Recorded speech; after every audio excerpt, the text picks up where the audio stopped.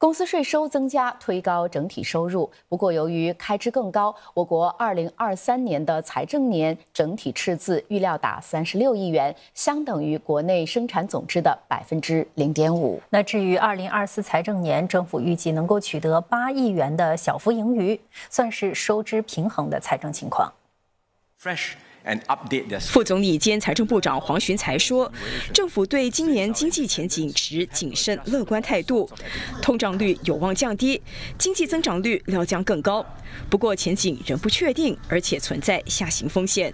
We are living in a world which will become more violent, more fragmented, and more unpredictable in the years to come. We will try our best, working with others in the international community, to shape better global outcomes. But we also have to be realistic. Things may well get worse before they get better. So let us be mentally prepared and take steps now to adapt to this messy world. 黄旭才说，政府除了会继续发展经济，也将帮助国人实现潜力。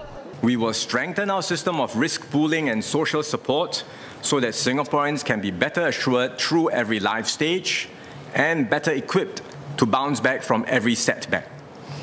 We will fortify our resilience, solidarity, and unity so that we remain strong and effective against any challenges or threats.